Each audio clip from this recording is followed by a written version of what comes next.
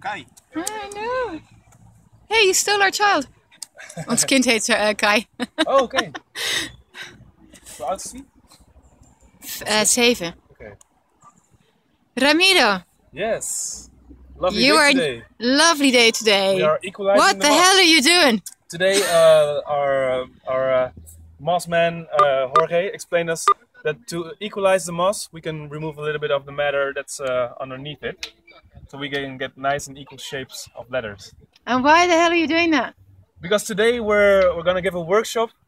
It's called uh, Gedachtenlezen. Uh, and we're gonna explain people how, how they can make uh, poetry that's related to their location, or in this case, of this beautiful location, which is the uh, the Nieuwe Rotsoord Kinderboerderij. Uh, they're going to, going to create poems, and we are going to make letters, uh, and it, we're gonna uh, decorate this, this empty wall into something completely new and beautiful. Sounds good. Yes. And how can people participate? Yeah, m- maybe you know. Turn on the camera. Turn off the.